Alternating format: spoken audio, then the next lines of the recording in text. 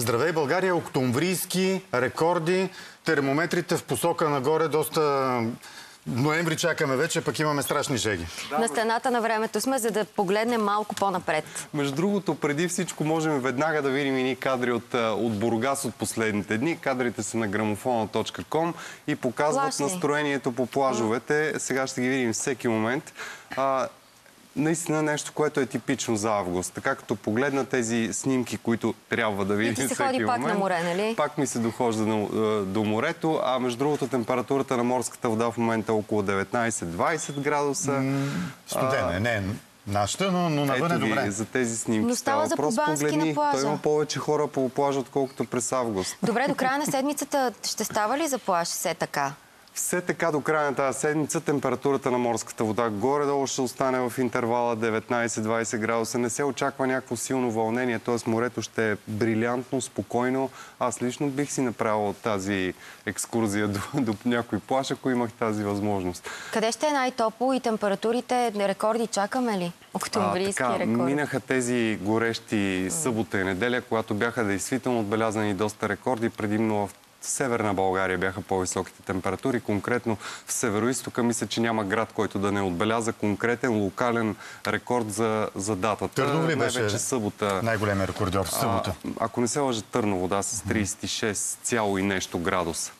А иначе, като погледнем така картата, горе-долу до края на този месец, температурите остават средно погледнато в диапазона 25-30 градуса.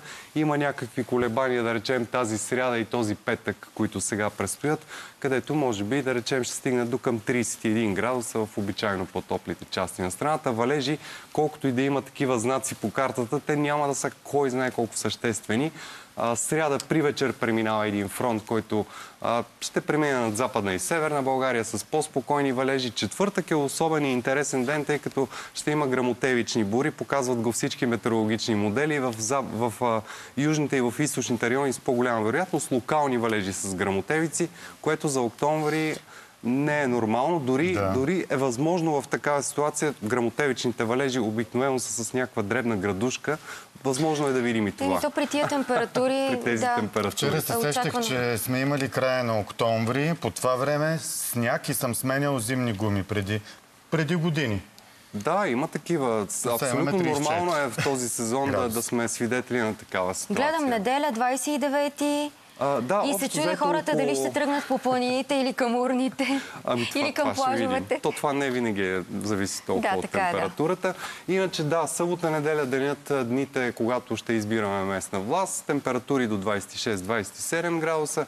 Преминава в петък вечерта отново един фронт с валежи, които до събота сутринта най-вероятно ще, ще са преминали. Неделя ще има някакви локални превалявания в Южна България, но като цяло спокойно време.